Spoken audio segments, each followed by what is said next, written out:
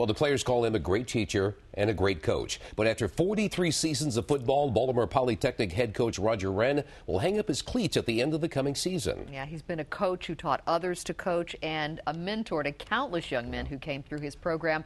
11 Sports' Pete Gilbert is live in the studio with more on that. Pete.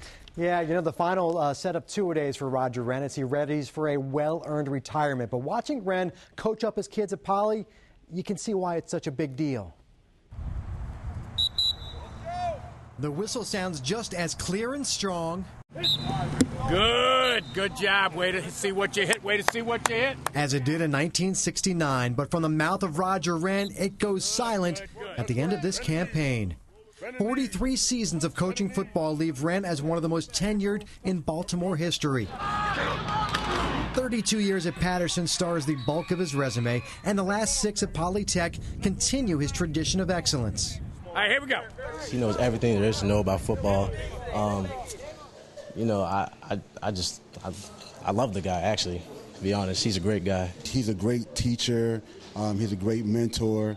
Um, I, I, don't think that I'll be here today without him. There you go, there you go. Good T-step. But the numbers do little to define Roger Wrenn. He could have chased titles and dollars at higher profile jobs. Instead, he remained in Baltimore, mentoring kids that needed him that sounded good, it must be good. He's more of a father figure to us. So I call him, me personally, I call him my daddy because he's my coach and he's my father on and off the field. So. And the coaching tree under Roger Wrenn includes 11 former assistants that became head coaches and 10 former players that chose to follow his footsteps. I think what I'm proudest of is maybe we haven't done it the best or won the most state championships or the most ga- games or had the most kids play in college.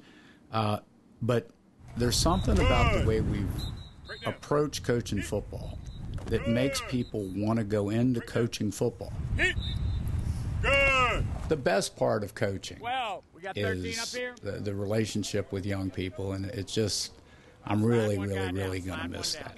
All right, here we go.